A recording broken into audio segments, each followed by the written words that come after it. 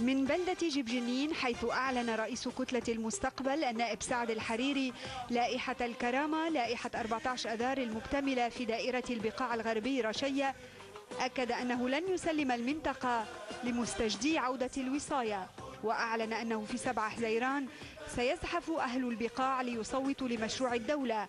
وسنقول جميعا أن صوتنا للبنان أولا وسيقول لبنان أن هذا زمن القرار الحر وزمن الدفاع عن قضايا الناس لا الاعتداء عليهم.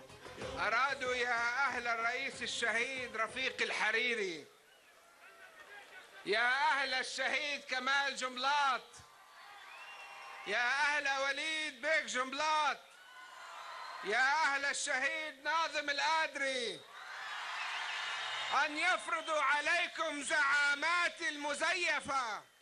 التي ملأوا أيديهم بالدم والفساد وأكل مال الفقراء ويريدون اليوم عبر سارقي المؤسسات أن يعيدوا إلى هذه الأرض الحبيبة نظام الوصاية الذي أخرجتموه بنضالكم.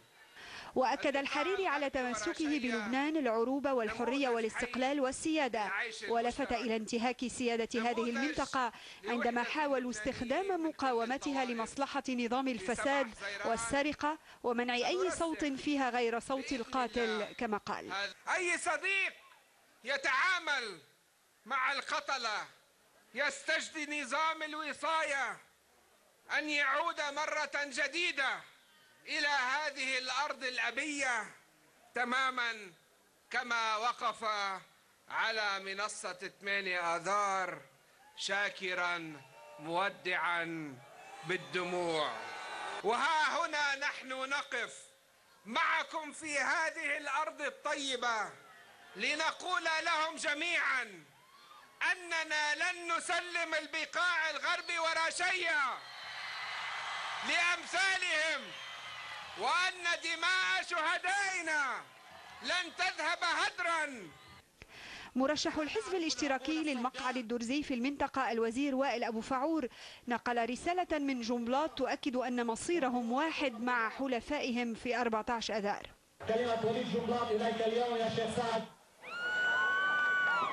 كلمة وليد جملات إليك.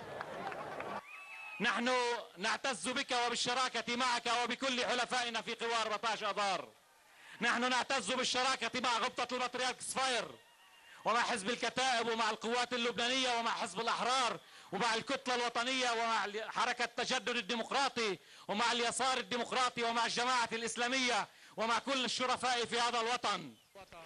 النائب روبر غانم وهو المرشح الماروني على لائحة الكرامة أكد على أهمية الاستمرار على ثوابت ثورة الأرز. ونعاهدكم كما دائما أن يبقى البقاع الغربي ورشية خير خميرة للبنان الجدير المستحق. للبنان الحرية والسيادة والاستقلال.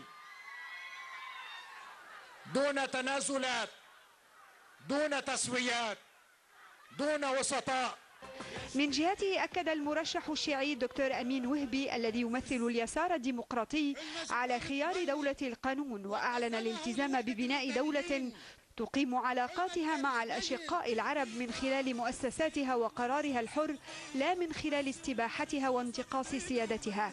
رئيس كتلة المستقبل قدم في ختام الاحتفال لجمهور الرابع عشر من أذار في البقاع الغربي أعضاء اللائحة التي ضمت إلى غانم وأبو فعور ووهبي النائبين أطوان سعد وجمال الجراح وزياد ناظم القادري. النائب الحريري كان زار فور وصوله إلى البقاع المفتي الشيخ خليل الميس ولبى دعوة النائب السابق سامي الخطيب إلى مأدبة الغداء.